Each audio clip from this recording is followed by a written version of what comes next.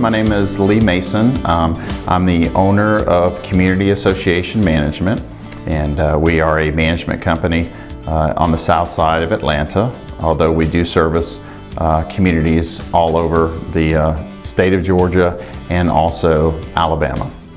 We started in 2002. We had about five communities that we started with and since that time, uh, over 10 years later, uh, we have uh, 115 communities that we manage. This is my messy office, right? now. we basically uh, manage homeowners associations, provide the day-to-day -day operations of the associations. We're the agent for the board of directors. Um, I'm also a community association law attorney, and so I also help out with the litigation and the covenant enforcement issues that arise with respect to community associations. I've always been interested in real property law and uh, community association law and community association management was uh, a niche that I was able to find uh, combining both services with respect to management and legal collection services where uh, associations could find a company that could get both services for one set fee. And it, to try to be cost effective and um, save basically the associations money uh, without having to have both uh, a law firm and a management company. So with the combined services and paying one set fee, um, the associations do end up in the long run uh, saving money. With the economy, a lot of the homeowner associations, uh, their budgets uh, sometimes don't allow for a full service management company. So uh, even though we cannot provide full services, we can provide the limited services that still allow the associations to receive professional community association management.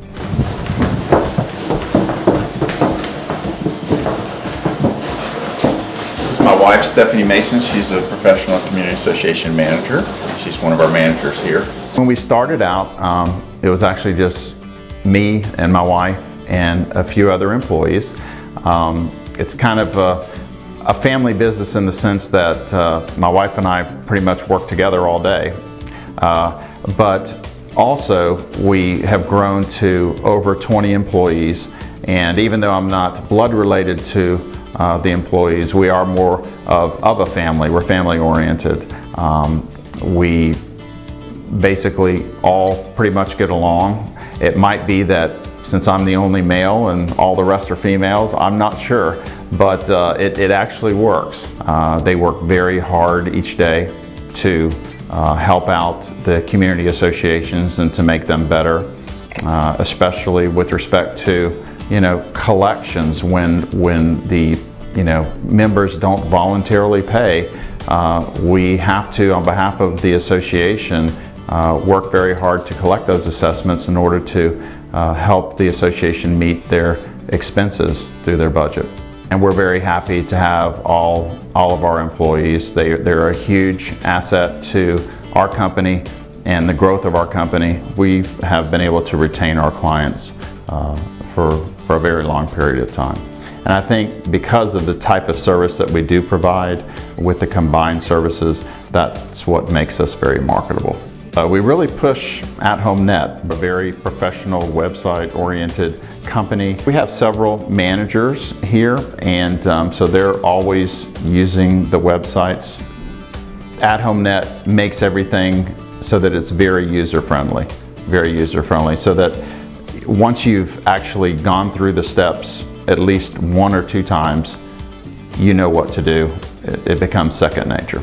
If there's uh, information that needs to be sent out uh, immediately uh, to the residents, then this is a very easy tool because all we have to do from our end, since we, we do uh, the administration of these websites once they're set up by AtHomeNet, um, we just plug it in, put in what it is that the board would like us to, to send out, uh, attach any attachments that, that need to be sent out, and with a few clicks of a button, everybody that's uh, in the email chain in the community receives that information.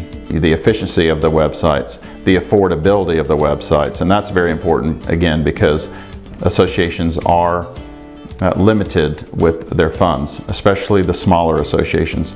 The board of directors, they can put the financials, the monthly financials, they can put the annual budget, they can put all the governing documents.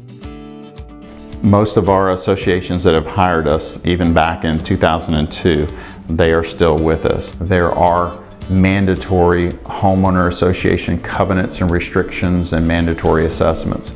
So homeowner associations, I don't think are going away. They're actually going to just continue to grow, which means that we will have the opportunity to continue to uh, gain that business.